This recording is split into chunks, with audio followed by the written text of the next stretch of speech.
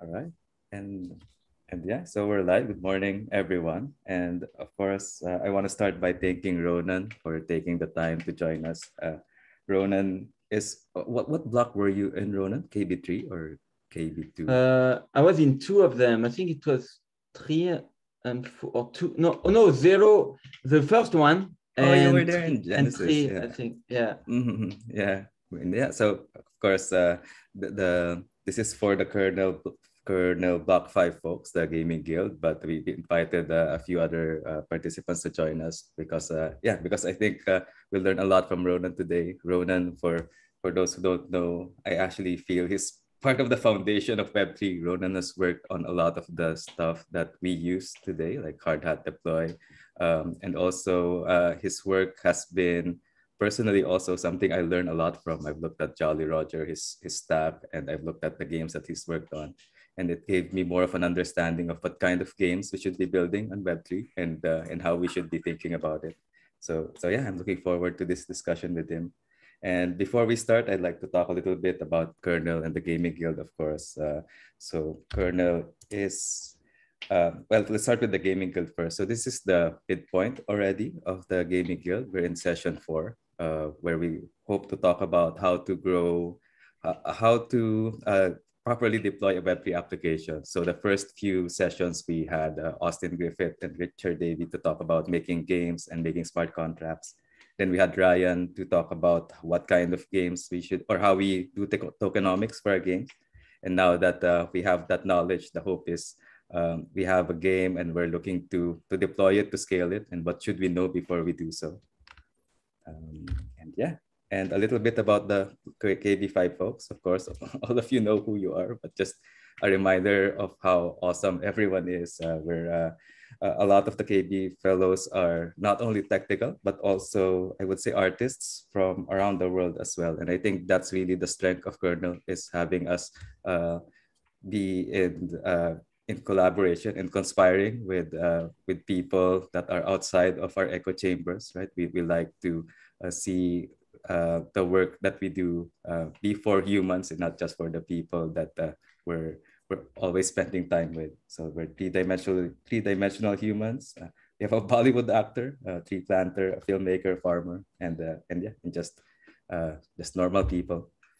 Um, and I guess the goal with the Kernel Gaming Guild as well is we want to explore more than uh, more than the current games that we're making. I know the current narrative around play to earn around Web3 is play to earn. And we kind of want to explore that as well. What is the future of games beyond play to earn? And I feel also Ronan has been thinking about this as well. He's worked on several projects like Conquest, uh, Eternal, Deepsta, Mandalas, and uh, and I guess some other examples of Web3 games that I look to uh, for inspiration are Dark Forest, uh, the Loot Project, Wolf Game, and Magic Treasure DAO. And I, I kind of want us to discuss or, or see what's next after that. Uh, I feel play to earn is just the, the beginning, right? And we, not, we need to see, um, we need to be able to see past that and look at what's coming next and how we can use the technologies that were provided. And cool. And yeah, and with that, I want to start with introducing Ronan, of course. Uh, uh, so Ronan, as I mentioned, has worked on a lot of the projects that uh, that are foundational to Web3. Uh, Hardhat Deploy has been used for deploying the, the, the projects that are built on Hardhat. Uh, he's worked on some uh, NPM projects as well that I also take a look at all the time. he's worked on some some uh, very in, innovative Web3 projects like Mandalas, um, Eternal, of course.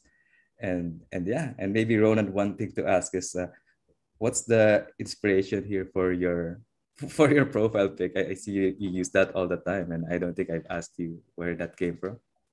Yeah, I mean uh, it's funny. Like I I got it and then I never I never left it. But basically, uh, I remember there was a, an artist who was uh, selling uh, little art that sometimes I, I, like to buy, even if I don't make game out of it, but I like to buy like game asset pack. And, and he was mm-hmm. setting up one and he had a special price. So you could pay a bit more and then he will design uh, something for you. Uh, mm-hmm. And actually this, uh, this icon is actually made out of a photo. So my, my father is a photographer and he made a photo. And actually, the real guy there is my brother, and but it represents uh, a special character in the folklore of my of where I come from in France. Uh, it's actually represent. Sorry. Sorry, Ronan. Yeah, it represent it represents the uh, the servant of death actually, and mm. yeah, that's but it's it's quite a, a, common like it's a popular folklore in, in where I come from, and that basically represents that. Um, yeah, and yeah, the name my my uh, nickname, my like handle is also based on the same character. Mm-hmm. Wighawag, right? Yeah, so exactly. It's, uh, so it's a folklore in Scotland or? No, Brittany, uh, like in France mm. on the west, northwest. Interesting. Yeah, thank you for that. Uh, and yeah, and, and maybe Ronan, do you want to do uh, an intro on your end as well? Yeah, I mean, yeah, like uh, it, was, it was a nice intro. I mean, uh, yeah, been so I've been uh, I'm a game developer as a background, and I, and in 2016 I discovered Ethereum like just by chance, really. And from that day, my dream was to make a game that I, I call them unstoppable game. That's how uh, Ethereum was advertising itself at the beginning, like un- create unstoppable app. And when I understood what it means, I was like hooked. Um, and that's how kind of uh, I started. And uh, yeah, so then I realized the limitation of Ethereum, and but it didn't stop me. I started to explore what we could do with the limitation, uh, and I launched Etherplay back in 2016. Um, but then, then I realized that the technology is going uh, is improving very very fast. Actually, I mean, we could complain a lot as a developer that yeah, I mean, we we wish we could be already in the future, but in the end, it's actually going quite fast. And I realized that, yeah, it's time to explore on, on maybe not on fully decentralized system, like on sidechain, we'd have uh, more uh, kind of uh, take a trade-off, but we could explore. And that's how I started uh, Eternal, uh, which was like a, a, dungeon game where you uh, every move is on chain. And so that's what for me is important in the um, in, in what I explore, it's always this on-chain component because I, I think this is really where where we can be different than anything done before and also what it enable. And I think especially for games, and that's what um, that's what may excite me the most about Conquest and what excited me about Eternal uh, is that as soon as you have action on chain, you can use them for many for things. And in the case of Conquest, we have a proof of play. Um, and mm. so as soon as you have a proof of play, because I mean, currently what happened is that in the blockchain games that don't go on fully on chain, they, they have lots of issue with bots and they have to make centralized decision about how how do we decide if it's, it was a valid move or not, etc., etc. And we don't want to, to have that. We want something to be decentralized, that, that the creator don't have a say anymore uh, or at least it's bounded by some rule. Uh, and these rules need to be on chain, otherwise uh, we have we have other issues that we introduce. so we conquest, we can have a proof of play, and suddenly I can we can reward by simply looking, okay, you are playing, you are rewarded, and um, and yeah, and conquest have an interesting way to solve because on chain doesn't mean you remove bots. Um, but conquest is actually a social game. It's a mm-hmm. it's a game of diplomacy, and and the game actually happen outside of the game. Um, mm. And so and so bots have no chance here because uh, okay, bots will be part of conquest, but they will be helpers uh, and not um, competitors really against uh, human alliances and stuff like that. So mm-hmm. um, yeah. yeah. I remember yeah. Uh, when, when we started the the, the gaming guild, uh, Austin shared a tweet from Alex van de Sande, I think, like uh, what makes a good blockchain game, right? And one one of the things there, of course, is uh, design it for bots because uh, you're gonna expect people to bot this, uh, especially now that uh, uh, everything is uh, open, right? And that uh, the, people are incentivized to play as well, so they're gonna find ways to make it as efficient as possible. And Yeah, I see a comment from Niraj. Yeah, like I guess you are you are working on that right now. Know, a protocol to basically a bot to make um, alliances and and to be fair, yes, it, it, could be that. But I, I think if we reach there, we we we manage to solve AI, general AI, and I, I don't think we are there yet. Um, but it will it's definitely an interesting challenge, like um, like that, that that I would love people to explore as well, like creating bots uh, that basically talk to humans about, hey, let's attack this mm. uh, player uh, together, and and then the question is, um, actually, interesting thing that uh, an anecdote I could put is that before I went into game development, I was in cognitive science, and my mm. PhD was that I wanted to do that I that I never ended doing, but I still want to do it someday. It actually was to do a, a Turing test. Uh, I call I call it a, a virtual Turing test. Uh, in the Turing test, you are you have um, just a you know normal language. You have to speak to to the to, the bot have to speak to a human, and there is no limit to what they talk about. In a virtual Turing test, you basically create a virtual world that is so limited that the, the bot have a chance uh, to, to hide himself as a human. And the idea is to the idea was to increase the complexity of this virtual world uh, until it breaks down. And but then you you, you keep pushing the limit of where um, where the AI can navigate. And uh, and as the game become more complex, suddenly humans uh, can be discovered. But yeah, that so it's also kind of uh, an extension to that in somehow. Yeah. Yeah, that's fascinating. Right. Yeah, and and, and yeah, I, I see bots like uh, having more and more of a role in games. Like like for example, in hyper casual games, when you play when you play them, there's always it seems like it's multiplayer, but it's actually bots that are playing with you, right? And sometimes you don't really yeah. know because it's it's limited. You don't you don't have complete information. So you so you, you think you're playing with them, but you're actually playing with uh, with bots. So so yeah, so that's yeah, fascinating. Yeah, fascinating yeah. subject. Yeah. Yeah, I play yeah. some of these games. Sometimes it's like you re- when you realize they are bots, suddenly it's time to stop playing almost because you yeah, realize that right. they yeah. okay fine i know how to beat them or whatever like yeah yeah and also like you feel a bit like the, the game lied to you a bit right like it yeah. doesn't give you complete information that hey i thought i was playing with humans yeah but uh but yeah maybe we before we dive into the uh, i guess the deep discussion on uh on technical uh, ronan of course you're part of kernel and this is something we're doing uh with kernel block 5 is we kind of start with a bit of philosophical discussion. Um, and and one of the readings that were uh, in the kernel uh, in, the learn track is about the source of freedom and open source and I think it, it's perfect that you discussed Unstoppable as well. I put it up there. Um, and and because that's one thing that I did also notice around uh, Web3 and blockchain, right? Because there were a lot of words that uh, that we picked up when we were making Web3, like true ownership of items, uh, interoperability, play to earn, unstoppable.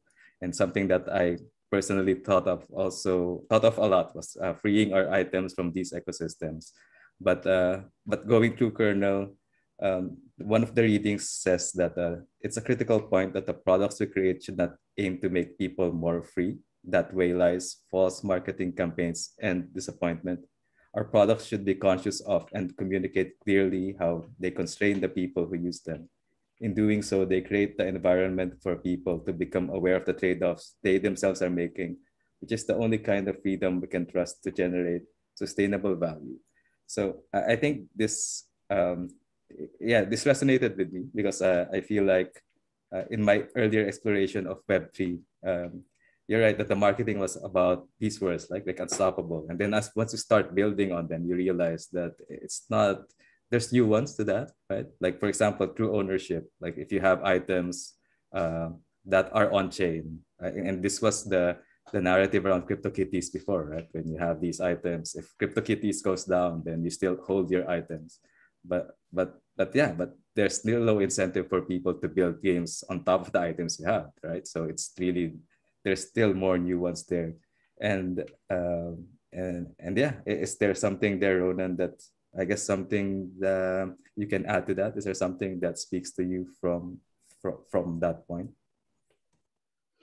Yeah, I mean, uh, yeah, it's. I think yeah, definitely there is nuance to a lot of things. I mean, it, most of these things is a social contract because at the end of the day, like uh, you could make a game and that give you these items, but if the game suddenly uh, disappear, whether because people don't stop playing it, uh, then then the item lose their value unless there is someone who take over and do something with it. So at the end of the day, all I, I think I think that was a realization.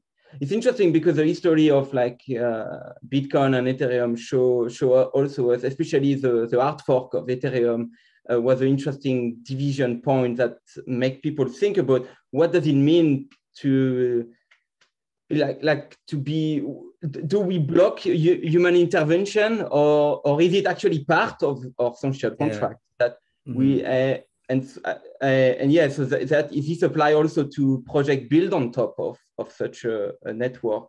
Um yeah. Yeah so, and even DAOs are coming to that realization right? Like uh DAOs were supposed to be autonomous, like it's all run by a contract via smart contracts, and now people are like realizing that maybe uh, maybe that's not the case. Like like layer two is people, so it's uh it, there's that social contract that uh, that should work before we kind of make the smart contracts work, right? So yeah, definitely, yeah, so, yeah, yeah. So I guess two two other points there, and one one thing I wanted to ask you also. Uh, so these two other terms spoke to me. Like freedom is only the ability to be conscious of the constraints within which you live, and in the long run, making pro- programs free is a step toward the post scarcity world. And I know some of the work you do, Ronan, is open source, and and yeah, I wonder what is the what was the reason for you to to share the the, the the work that you do? What was the impetus for you to to make sure that the work you're doing is open source? Uh, I I think it's I, it's something that I always uh, liked. I mean, the open. I've been I mean, I've been using open source things for all my life. I mean, all at least my adult life and even before. Like Linux is one of them. So for and and I always liked that you could see what is how things work and so when I when I make a tool, for example, like like Hardhat deploy, uh, for me it was ov- obvious uh, that it has to be open source because I want people to help me build it, and I also have no. It also in some way remove responsibility. I mean, it's like mm. I am building that for myself, but okay, let's share it with other. It, it push me forward as well uh, because otherwise I might just have these things that work only for me and then I, I don't bother like making it more robust. Um, I think, yeah, that's mm-hmm. one aspect. And so as for games, so Eternal, yeah, so usually I don't start with being open source uh, because I realize that I don't, I think it need to reach a, a, certain stage where, okay, I can open source it. But, but for, for game like on Web3, I think it's very important. Like the, for me, like it's the first it, it need actually the code source need to be available. That's the first thing. It doesn't need to be open source, but it need to be available for the smart contract. Uh, mm-hmm. this is, I think, something that everybody expect in the space. Um, but making open source is also is also important because that's uh, it's the ability to fork that make it make something decentralized. It's yeah. really this ability, and if you can't, uh, okay, you have the game, the smart contract there. Okay, you can rebuild the front end, which is some, that's another interesting aspect of on-chain games. Is that at the end of the day, uh, the only thing you need is a smart contract. So it's true that having that is already enough. People can build uh, a front end, but in practice, uh, in practice there is more to it because uh, I mean it's not easy to make a front end you need you need to get traction and and so so I think it's important, yeah, to to, to have that uh, open source so that people uh, can freely uh, improve it and yeah and change decision. Yeah. yeah, that's interesting. Yeah, I guess that's also one why I kind of also asked try to have people design the smart contracts first, right? Because the, the smart contract will, if it's there, then people can start building on top of it, and it's it's it's a different way of making games aside from from Web two. Now we design the smart contract, design the incentives, and then you kind of build on top of that, right? and and maybe Loot Project is an example of that, wherein the the the game design started from the smart contracts for the NFTs, then the lore kind of started building up. So so yeah, so that can be can be a different way of building games. Um, cool, yeah, and I guess we can start with that more technical discussion, Ronan around uh, uh, around uh, web architecture. So this is from one, one of the articles shared on the Kernel Gaming Guild, eh, which is a uh, the architecture of a Web3 application. Um, and yeah, and I, I, guess just from how this looks, uh, is this similar to to how you're building your games like Conquest uh, or uh, or maybe you can describe Eternal and, and these other projects that you have and and and yeah and see if this is the proper uh, way to do so or if there are any things that you would suggest uh, people take a look at before before building uh, a whole Web3 game? Yeah, no, I think it's uh, it's really how it works. I think usually, so both for Eternal, so for Conquest, I the first alpha there was not even the graph, so it was completely um, completely decentralized. Like there was no reliance or anything. But but then I I wanted to do that because I wanted to see how far I can go, and then I realized, okay, now I, I need I explore that aspect, but I think it's important to give a, a nice user experience. So I think my philosophy here is like you can you it's fine to have backend that help uh, the front end. So it could be like a WebSocket server that help you have like a very quick update on things that happen.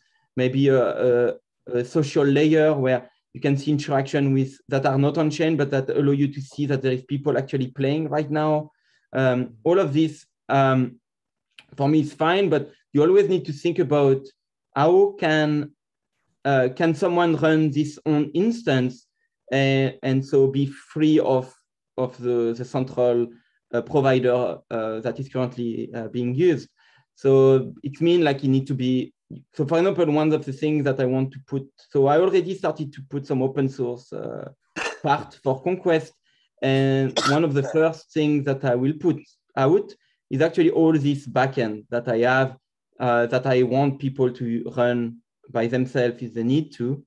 Um, so basically what it means is that if you have a backend, you need to be, uh, you need, maybe a fed, federated one would be even better. I mean, currently, but this is also more work, but at least one where someone can run his own and then ask other people to join them in their instance or if it's a federated network, then they could talk to each other as well. Um, and so you could have uh, like, like this kind of independence of, uh, of the project. Yeah, uh, that, that's interesting, Ronan.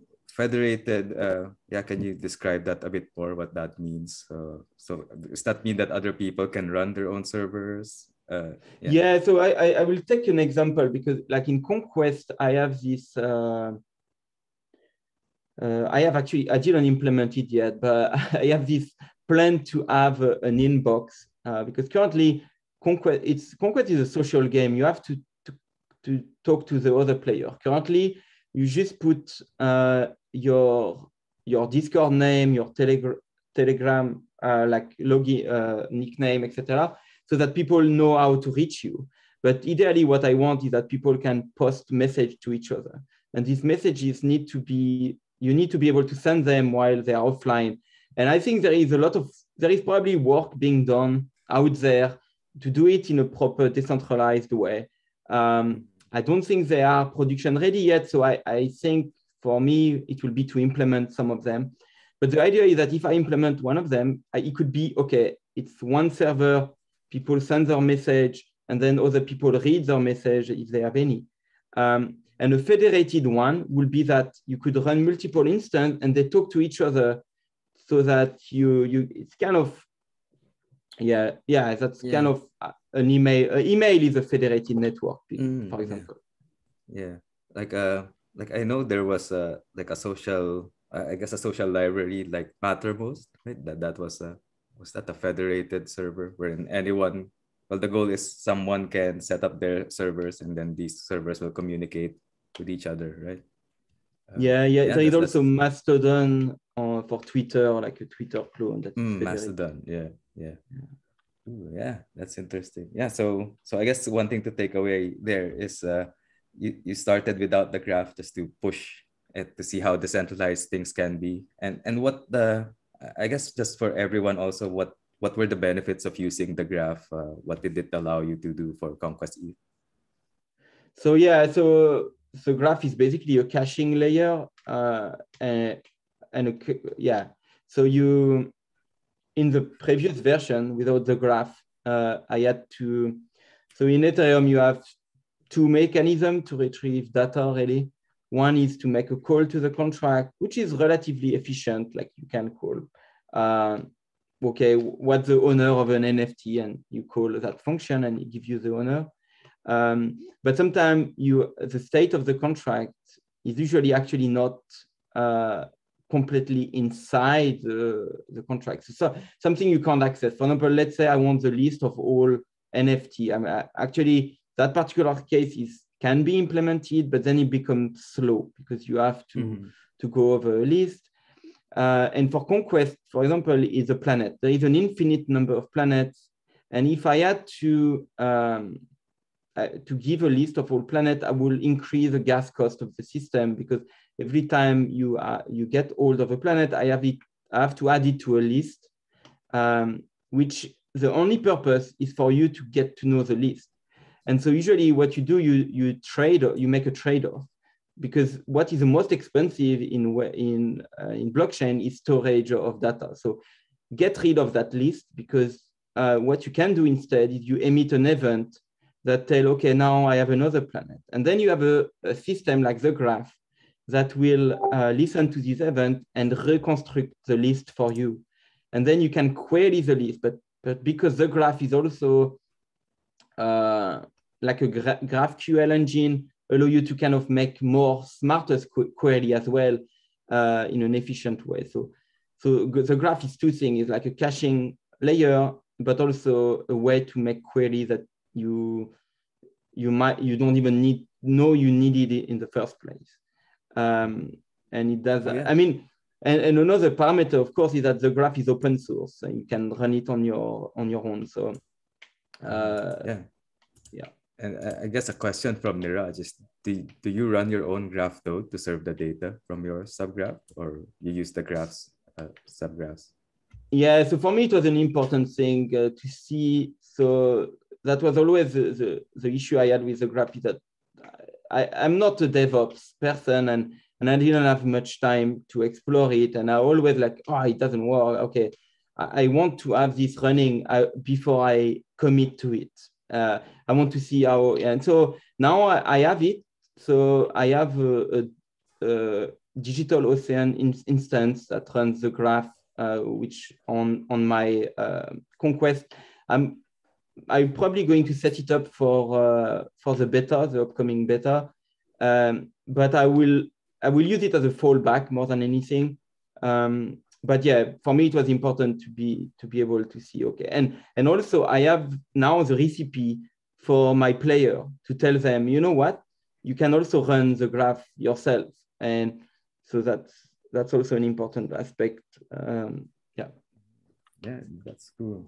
Uh yeah and, i guess we can go through a little bit of uh, of the stack uh, ronan. Uh, i know for example uh, with jolly roger you have a um, like the, the front end there that you use is uh, is svelte right? Svelte and tailwind is that correct?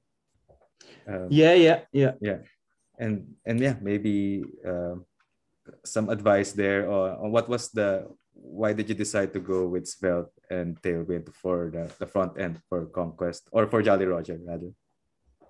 Yeah, so actually for Conquest, yeah, and Jolly uh, use Jolly Roger. I, I usually merge mm. back in, so it's kind of a fork of Jolly Roger. And yeah, so for me, Svelte, uh, so I've never, I'm I'm not a front end dev, like I would, I mean, it's not my past. My past is more like a game dev, but I've always been interested in web technology. I, I like to do web games, uh, uh, and uh, yeah, that's always a passion for me. Trying to do something that you just need a web browser. You don't depend on App Store or anything like that. You just it just runs there. So that's the first thing that tell me and, and for Web3, it was an obvious uh, decision anyway. Um, and, and, then about the framework, so I've, I've looked at a few. I, I have some experience with React Native. I had, had some work, I've done some work there, but I always feel it was a bit convoluted, um, mm. not very HTML uh, style. And Svelte introduced a compiler, which is in some way something I don't take uh, I take precaution before jumping into this kind of tech. But the nice result of Svelte is that you are dealing with HTML, like, um, and it's, it has a nice feeling. You are building an HTML component. It's just HTML and JavaScript. Um, or I use TypeScript in my case, but um, yeah. So the, I think it's a it's simpler uh, to read, and I think simpler to probably have someone who knows HTML and CSS to come to your project. Um, yeah, that's kind of, and Tailwind, uh, I mean, CSS, I always struggled with it. Uh, and I feel Tailwind make my life easy myself. I don't know if it's a good decision for someone who, who knows CSS, uh, but for me, it was like uh, an easy way to, to put stuff uh, yeah more quickly quickly yeah quicker and I, also I they the have nice way. choice yeah. Yeah, yeah. yeah so you don't have to think of the classes, right? Uh, Tailwind already defined that for you, so you can just pick and choose from that. And it's very uh, opinionated, right, on, on how to do uh, grids, for example. So you don't have to think of that. Um, Ooh, yeah, and I guess also one thing to talk about, Ronan, is your choice of chain. I know that the Conquest ETH has been running on XDAI, right, and Gnosis or Gnosis chain. Um, and, and yeah, uh, I guess uh, knowing what you know now, or, or maybe uh, you, you, can talk us a little bit about uh, which chains you went on first, and uh, and yeah, and knowing what you know now, what what which chain would you uh, make a game on uh, if someone was gonna make a, a new Web three game?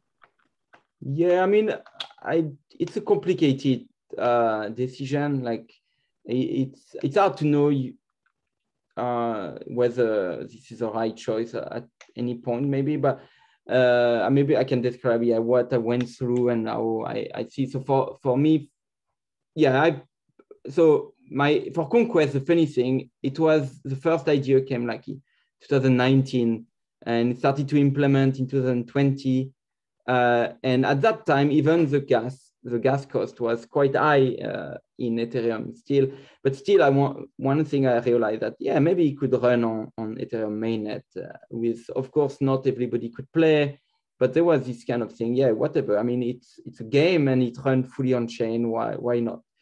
Um, but obviously, the gas price keep rising at the same time, and I realized that also the adoption of sidechain started to grow uh, and I realized, okay, maybe maybe I should go, but then I should maybe explore this sidechain. And I, I, did explore them with Eternal actually, with uh, Polygon and uh, and XDAI both. Actually, XDAI was my first choice uh, for Eternal. So the first prototype was uh, made for XDAI. there was a benefit for XDAI is the the dollar, uh, the peg to dollar thing, which make. I mean, to be fair, the, it changed a bit. The rationale, they but they, they try to keep it uh, the gas price fixed, uh, which they can't do it, but they they try at least to, to keep it low. Um, and and also for the player, you have like this yeah this uh, dollar value, which might be more uh, easy for some uh, to yeah. So that was kind of um, uh, yeah the, the the good thing about XDAI. But then I think yeah, we went for Eternal at the end, we went to Polygon. Uh, the, I mean, there was few reasons for it. I think we got more, uh, we, we were more welcome, I think, to, to Polygon than XDAI. So we kind of explore that route. Uh, they gave us a grant as well. So I think that's something that is good also about looking at chain is that usually they are looking for people uh, yeah. to build on them. Uh, but for Conquest, my initial goal was to run on L2 uh, because I realized I am one of the, it's one of the only games that can actually run there. Um, and again, like it kind of go back to 2019 where maybe it was kind of the relative price, but then I realized also, wait a minute, realistically, who is going to pay like maybe like I don't know 200 or if, probably it's even more like maybe it's like 400 dollar per month to play the game. Of course i mean if the planet are like 1000 dollar each and some 10000 dollar but but then you are like uh, you are basically filtering filtering a lot of people and so basically yeah. might not. So I, I i made a kind of i made a reality check myself and I realized no I, it, it can't be done today on l2 and so I looked at, around and I realized that even Polygon was is now a bit more expensive than it used to be. And, and Gnosis chain, I had experience with it. Um, yeah, the dark forest running there. Um, and so I thought, yeah, it's the and the, the cost is very cheap. So I think it's a it's a good choice. Uh, and I also like the the roadmap. Uh, they they have a commitment to be uh, the Canary network for ETH 2.0. They, they already have a Beacon chain there. Um, and so this, there is two things for it, that I think it's cool that they do that, but also it, it might allow them to scale um, to even if there was a lot of adoption, uh, adoption to their chain, like Polygon have, for example, if they manage to get sharding before everybody, then they get an edge as well on that. Mm-hmm. Uh, yeah, but at the end of the day, it's also another question you have to ask yourself is can it run on multiple chain? Uh, and that mm-hmm. was how so conquest.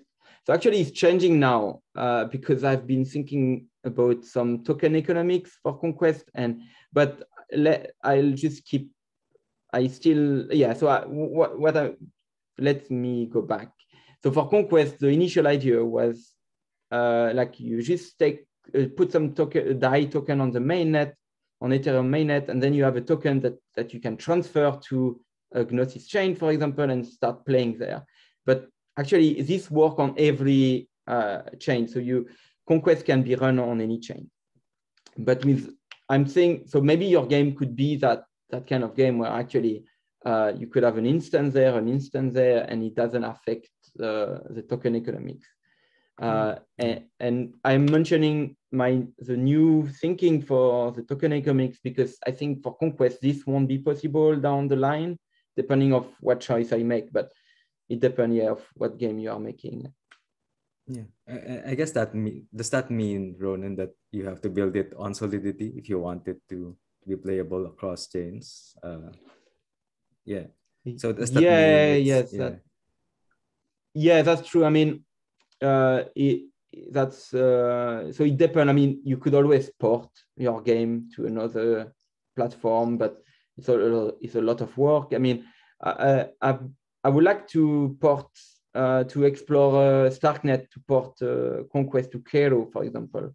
Mm. But I, I, don't think the difficulty is actually in porting the, the contract because at the end of the day, my, the contract is like I don't know how many line of code, but you you it's feasible. The problem is that mm. it's not only that, like you need, if you use the graph, the graph, you need to have the graph support. If you if you use maybe a library for MetaMask and suddenly is another thing. So you, there is a lot of things mm-hmm. that you also need to think about. Uh, um, yeah. Yeah. Yeah. Like if you go, I, I know I was looking at Starknet, for example, and you'd have to use, I think the Argent X wallet, right? Versus MetaMask. So you need to add support for that as well. Um, well, yeah, and, and I, know uh, Ronan, you don't you like uh, we, we don't want to take up much of your time. So I guess uh, just a, a last question before we go Q and A um, is about yeah, and and good that you mentioned Cairo as well.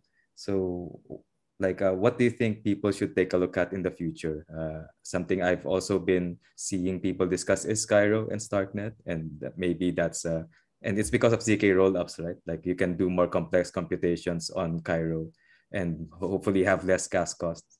Uh, so aside from that, or is that something we should take a look at, or maybe are there other advancements that people should be taking a look at when they're building something for the future?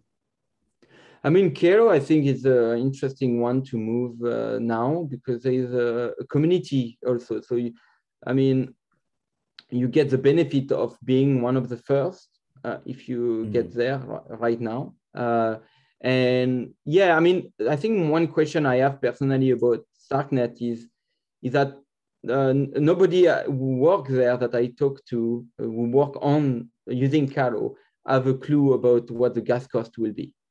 Um, okay. So there mm. is a lot of like promises, and it will be. Uh, I believe ZK can definitely be cheaper, but uh, realistically, what does it mean? Like, for example, for my game, like Conquest, how does it compare to Gnosis Chain? Uh, and my estimation right now is that it won't be at that level yet. Um, mm. So it depends what kind of game. But also, Cairo is, you can also use Cairo without Starknet. So you can use Cairo as a as a proof, like a ZK proof engine that you can use in your contract on another chain. Like you could even have like using Cairo for your game that run on Gnosis chain, for example. Um, I, I don't know in practice how, how, how much you have work to do on top of what is available, but uh, yeah, there is some article. Uh, one uh, one dev by his name of Kilari have wrote uh, a blog post on uh, how to build uh, such a game. Like you have the verifier on Ethereum, and you use Cairo not for Starknet, but just for uh, a proving system. And it's a battle game where you have you can have very complex mechanics. Um, yeah, so yeah. Kind of... yeah. I, I think I actually just saw that earlier today also. Uh, but yeah, uh, I guess we can move to some questions and answers, Ronan, for the next few minutes. Uh, and we can start with Craig's question. So, what are your gas costs on Gnosis chain for for basic transactions? Uh, I, forgot the number, but it's it's like really really cheap. I mean, for conquest, at the end of the day, it add up. You know, like it can be very very cheap, and then you play a game and it, it to to add up. I, I don't have the number in mind, but obviously you can't do. You have to be careful of what you do. So conquest was designed for uh, for gas cost because I mean I I did a lot of uh, trade-off now that I can uh, it's cheaper. So I, the game is a bit more complex and it's actually yeah there is quite a lot more gas now than it used to be. Uh, but the the game it's more about the game design. In Conquest, it's a game that play over time. Like you make you send spaceship, they will take they can take one day or like or seven hour to reach. So you you are not dealing with like oh I move I move every second or I move every um, mm-hmm uh, yeah, I mean, Eternal was another game where it was more in- intensive what you do on chain. But so you have to think about that if you want to do an on-chain game. Like, and I think it's so maybe the decision of chain is actually second secondary to the game design. You have mm. to think about how how first your game design is optimized. But to to try to answer your question is like uh, it's I think it's less than it's less than one thousandth of a cent to send a spaceship in Conquest. So you you could send one thousand before you eat yeah. one dollar, something like that. Yeah. Oh yeah, and uh, and yeah, next uh, and maybe Kirill, if you want to hop on and ask your question as well. Yeah, everyone. I was curious about the human to human uh, element of these games and wondering if that would lend itself to the tabletop style, you know, like D and D or Shadowrun, where you have a game master and you have a largely social interaction that would be supported where the avatar was on chain and the events that happened to them were on chain. Yeah, I mean, yes, it's interesting. I, I, I, I'm a RPG player myself, like pen and paper myself, and uh, I always thought it would be cool to do this kind of thing where you have like uh, a Web three style kind of thing, and so I, I don't know, I don't understand much about what you mean where on chain. So you mean like the action they do, like for example, the roll of dice will happen on chain and then, the, but the game master will still decide what to do or like something like that. Yeah. Yeah. Yes, I think the, yeah. I mean, it could also be like the game master need to roll a dice where he can decide maybe to give some sort of direction, maybe uh, because I guess the on-chain part I think it's important that some way the smart contract have a have a role because otherwise, like, why do it on chain? Even mm. though I, I mean, to not give too much game master thing, but yeah, yeah. But yeah, something to add to that. Like Niraj and I have, have been talking about open gaming and using uh, loot as the I guess as the, one of the inspirations for building a game, right? Like Loot, of course, was inspired by D&D and D&D items. And what kind of game can we build on chain uh, using that? So I think a lot of people are thinking about that also, Kirill. So, uh, hmm. so po- possible. I think the challenge there is, as Ronan said, also right that you smart contracts need to make sense uh, because uh, like you can if if it's all a social component, right? Then you could actually build that on or, or just play that using for example some of the games on steam like uh, i know there's a tabletop simulator game on steam right so what can smart contracts do on top of that uh, game that will make it have sense and have value? Uh, it's interesting like in, in eternal uh, so we so i was so i was not alone with eternal. So my the original idea was a very simple game. And then i um, and then as a team, we kind of think about different avenue, and we, the game became a bit like uh, you had two type of player. You had the, the player that go in the dungeon as an adventurer, but you could also own room, and then mm. the the player who were owning the room had uh, a decision upon what happened in that room, and they, so they became kind of dungeon master, mm-hmm. uh, and so that's maybe one way of doing it. Like you could have a game where uh, maybe the role of dungeon master is more fluid. It's about uh, context, and then they have a different choice they can make. Interesting. Beautiful. Uh, Thank you. As we were talking about that, Ronan, I'm reminded of Dungeon Keeper, where some you you make the the room, and then there's like the heroes that attack, and now there's like two, I guess two points of view, two two kinds of player types. That's very interesting and and yeah and mark uh, i see you have your hand raised do, do you want to ask a question as well yeah so um i spoke briefly with you about it the other day about uh, i'm sure most people are aware about the situation with uh, like steam and the general consensus that most launchers and platforms don't want anything to do with nft based games. And you know it's pretty uh, like a blanket ban going on.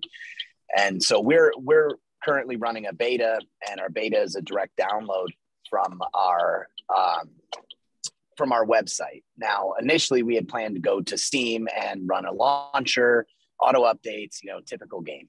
And now that's not possible because of the regulatory issues that Steam is trying to avoid by supporting games like ours. And I find that probably most platforms like GOG and others will follow suit with what Steam is doing. So my concern is is that you know how do we solve the version control issue without having the user have to download a zip file every single time that you know we we push a major patch, right? I mean, Unity config does some version control, but um, you know we we haven't really gotten to the point you know where we've necessarily needed to have advanced version control but even in the beta state some users are complaining about having to you know download that zip file every time and and store their own version basically so i was wondering what anybody had any thoughts about how they're going to operate version control um, without the the use of the traditional gaming platforms like steam or the app store.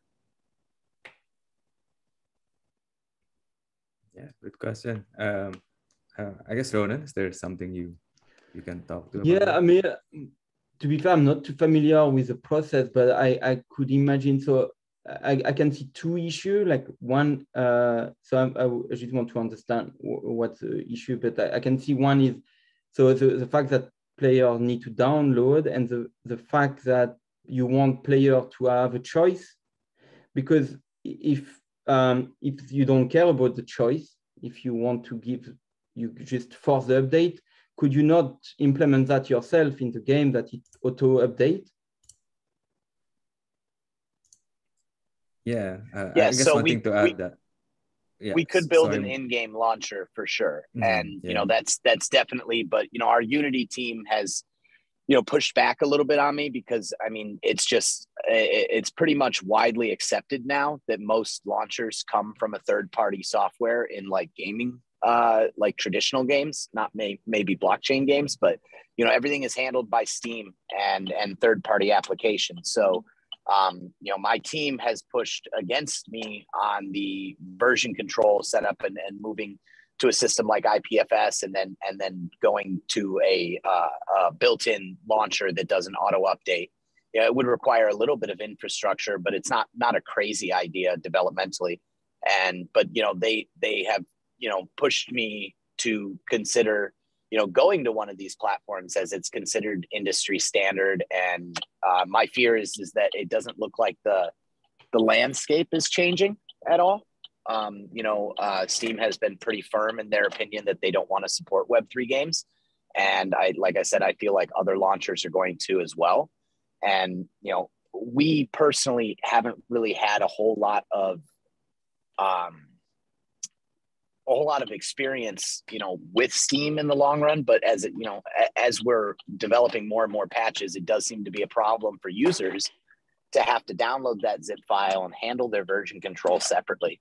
So, uh, you know, my question is is really just you know how is everybody else handling their version control without the the, the need for the app store? Are they just doing the zip files and I've just got some cranky users, um, or uh, are, are is everybody building you know in in game launchers that have auto update features?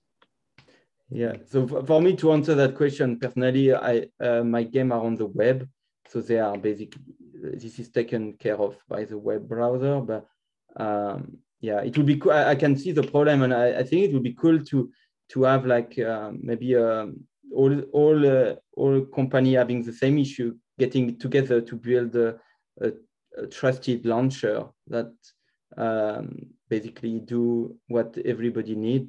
That would be great. Mm-hmm. Yeah, yeah, as like a as a uh, some type of a, a a decentralized protocol that would provide for a launcher or something, or even even a platform. You know, honestly, when we started looking at Enjin, it, it really sounded like that was what Enjin's ultimate goal was, was to be the launch pad for Web3 games. But I think they've kind of deviated from that a bit.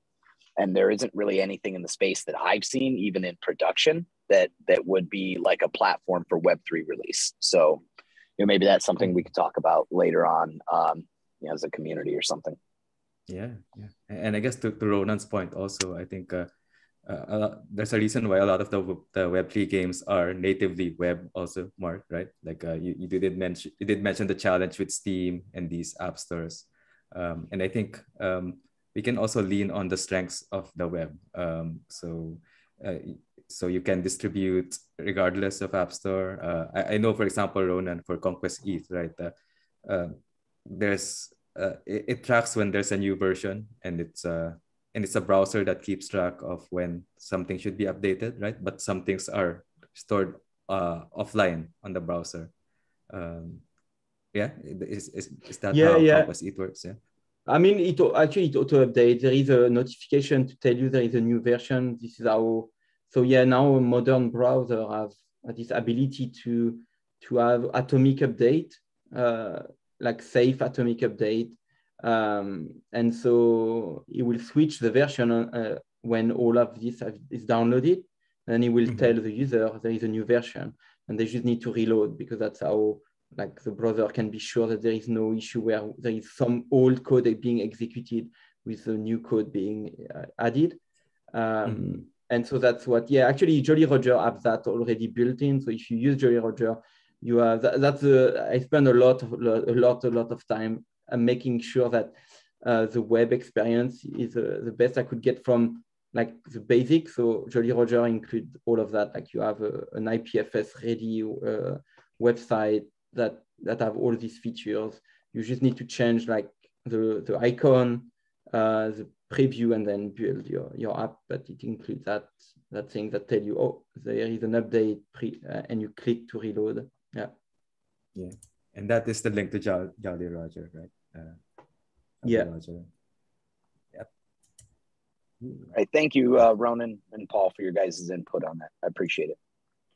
Yeah. And, I guess just one thing to point out there is, uh, is yeah, like um, I, I do tell people that uh, there are some trade-offs with using Unity. I know Unity is like like I would say almost nine, more than 90% of game developers use that right now. So, uh, but the challenge is it's not really optimized for what we're building. And if you want to look at something, then then Jolly Roger, of course, is uh, an example. It's building on um, on the modern web, and like when you're using Unity, it's like you're you're forcing certain things to be done, right? Like the wallet connections, for example. It's not very elegant, I would say. Um, but cool, yeah. Um, uh, I guess we're up to the hour, Ronan, uh, and uh, I would like to thank you for the time. Thank you for spending it with us, and uh, and uh, I'm sure everyone learned a lot from from the discussions today. Um, and yeah, is there anything you wanted to mention uh, before we end, Ronan? Anything you wanted to share or to discuss? Uh, you know, I think we did a yeah, we did a good overview. But I'm, uh, I mean, yeah, I'm available if you have any question. Like always, uh, interested to know what you are building as well. Like, and so if I can help or whatever, happy. Uh, just DM me. I don't. I, kernel is still using Slack, right? So uh, yeah, are you still there on the channels? I, I yeah, but the, I, yeah. I see. I know because the, the, thing is that I never check Slack, so and I see yeah. it's getting even worse. So, uh, yeah, maybe the best is uh, Telegram or or Discord. Uh, yeah, I, I put yeah. my. Can, can you share it on the chat, Ronan? Yeah. Okay. So but if you do find the time, uh, the, the kernel gaming guild channel is uh is still there like people can still discuss if you have any questions there or if you want to reach out to any one of us um, yeah i will check. I mean uh, i just need to yeah to get back to this a bit. I usually had a tab open for slack but yeah but there's, there's so many channels to join right? Uh, yeah. but cool yeah. Thank you ronan. So i'll just stop the recording now